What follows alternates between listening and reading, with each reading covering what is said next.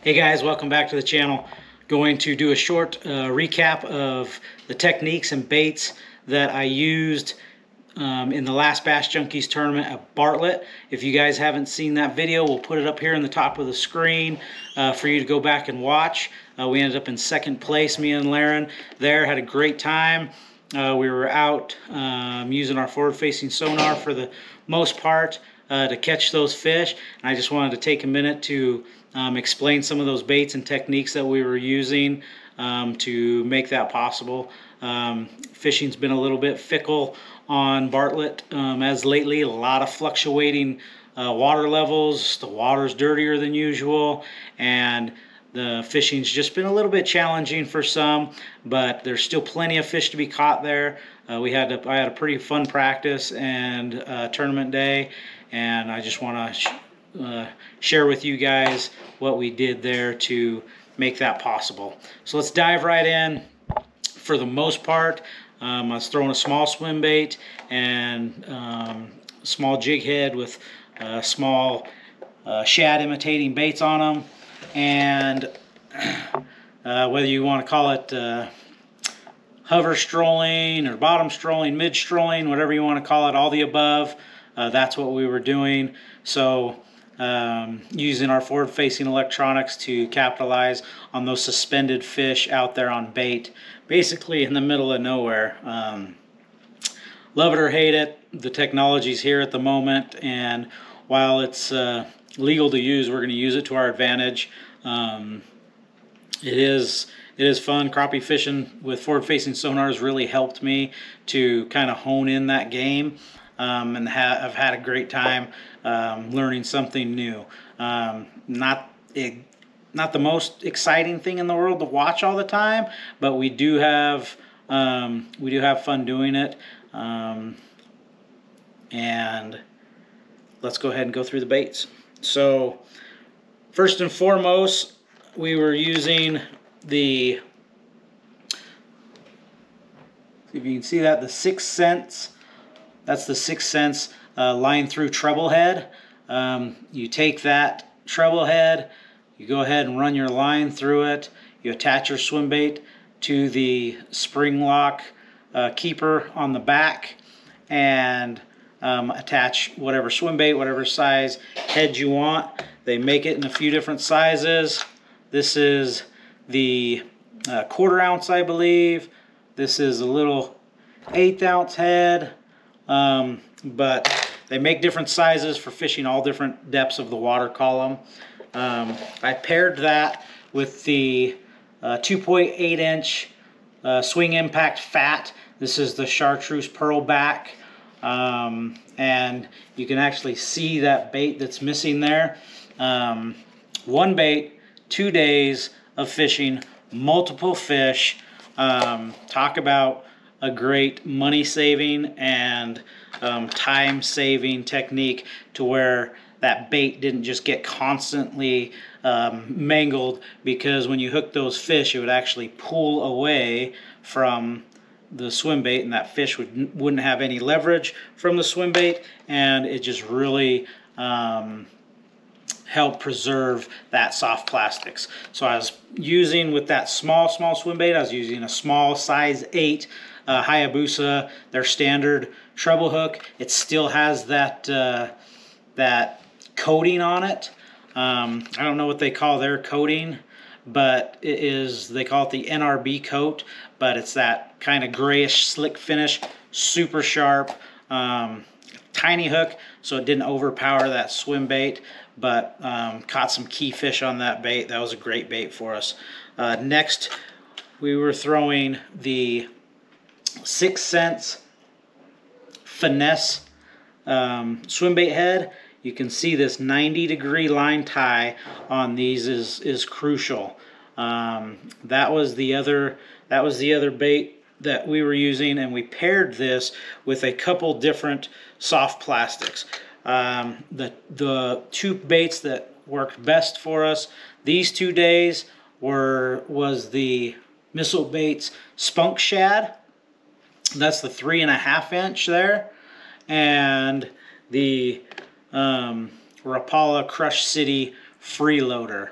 Um, it seemed like in practice that they preferred the spunk shad, um, and then in the tournament they preferred the freeloader. Um, th this bait was just a little bit darker, and we had a little bit heavier clouds on the day of the tournament, but that's why we have lots of baits. We played with them, kind of see what the fish preferred. Um, but let me go over my box here and I'll kind of show you all these baits that uh, that I have. So as those conditions change, you can change with those fish. All right, here we so, go. So I got my heads, and that you see an eighth ounce one aught hook, eighth ounce two aught hook, three sixteenths, um, one aught hook, three sixteenths, two aught hook. Um, over here, the other extremely popular head has been this Duo Realis um, Bay Rough head. Hopefully you guys can see that there. Let me show you. It's uh, got the it's got the wings on it. Um, anyways, but that's been extremely popular. Um, Shane Ager, who won the tournament, that's actually the head that he was throwing. Um, and so that's uh, that's another great option. Um, another bait you have is the Deps uh, Sakamata shad. You can see those same, hopefully you guys can see that, those same little fins there um, on that. And what those do is as you're working that bait through the water column, it causes that bait to jump side to side, kind of like you're walking the dog underwater. Very unique action the fish haven't seen very much. Um, so I got some uh, Berkley power bait power switches here.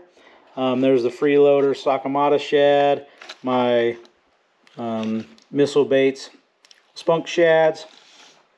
Got Damiki armor shads in the, that's the three inch. And if the bite gets really finicky, the two and a half inch. Um, another really popular bait for this technique is the Yamamoto shad shaped worm. Got those there.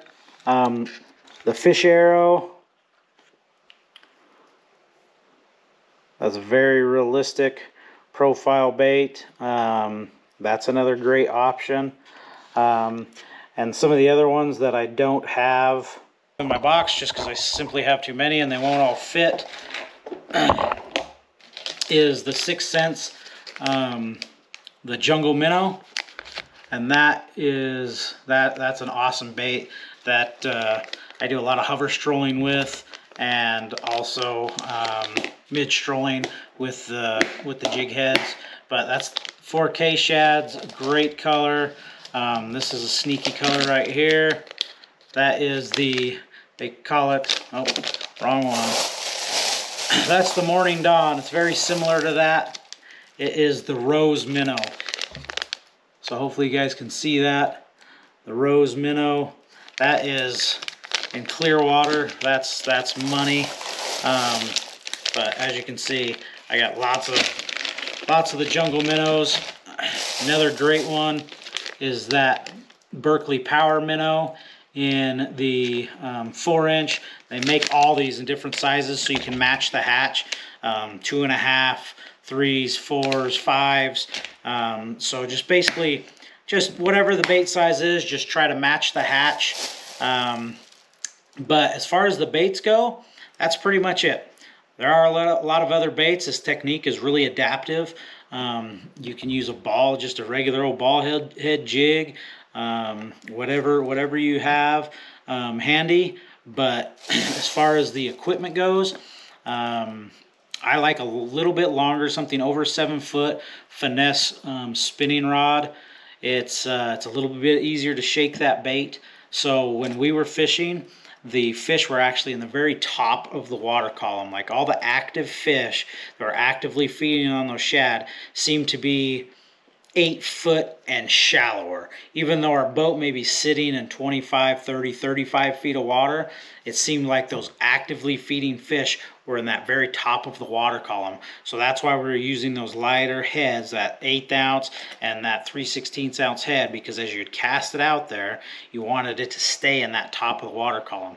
And as you shook your rod tip, it would, you know, it caused that bait to roll back and forth. That's the importance of that 90 degree line tie and it caused that bait to bounce back and forth as you bring it through the water column.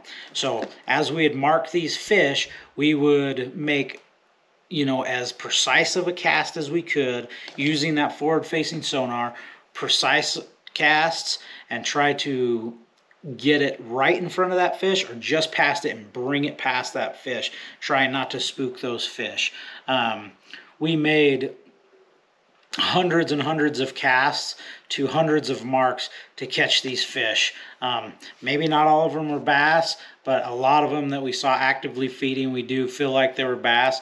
That doesn't mean you're just because you have the technology and you're casting right to those fish, doesn't mean you can make them bite. Um, you still have to make a perfect presentation. You still have to figure out these little nuances kind of for each day, whether it's a bait change, whether it's how they want the bait worked. Um, but as you figure those things out, you can definitely really start to be kind of dialed in for this style of fishing. Now, with that with that swim bait, that was great at just making random casts. As one guy was using that forward facing, with that swim bait, we could randomly cast and pick up an extra fish or two. Our second biggest fish of the day, I actually caught while Aaron was targeting specific fish that he was casting to. I was just kind of casting around on the outskirts of where he was scoping, and I caught our second biggest fish on that swim bait, on that. Uh, that Keitech that uh, that morning, and so that's a great kind of search bait. You don't have to have forward-facing electronics to go out and do this. You just can idle, find the shad, and and make some random casts. Is it is it beneficial to actually pinpoint those individual fish? Of course it is, but it can be done without it. Um, and that swim bait, like I said, was great for covering water and great for covering water at all different depths. Even though this particular day, that for us, they seem to want it high in the water column. That's not always the case. Sometimes it's the mid water column. Sometimes it's sometimes that shad is pushed down and they want it deep in the water column. And so day to day, you just have to figure those little nuances out. But this is some of the gear and some of the tackle that we use um, when we're using our forward facing sonar. We couldn't get them to bite an A-rig. We couldn't get them to bite a jerkbait. We couldn't get them to bite other traditional forward facing tactics. So um, this strolling really seemed to be what they were keyed in on. And I appreciate you guys watching. And we'll talk to you next time. If you have any comments, um, please comment below and I'll do my best to get back to you. Um, I'm going to put a description of all these baits down in the in the description so it's easy for you to just link straight over to them. Don't forget to use the code Creston10 at Copper State Tackle guys. They're going to take care of you. All these baits I have discussed today, they have. So you can go there. We'll link them in the description. You can go there, use that discount code, pick them up, get out there and catch some of these finicky fish this winter while the getting's good. Thank you and have a good day.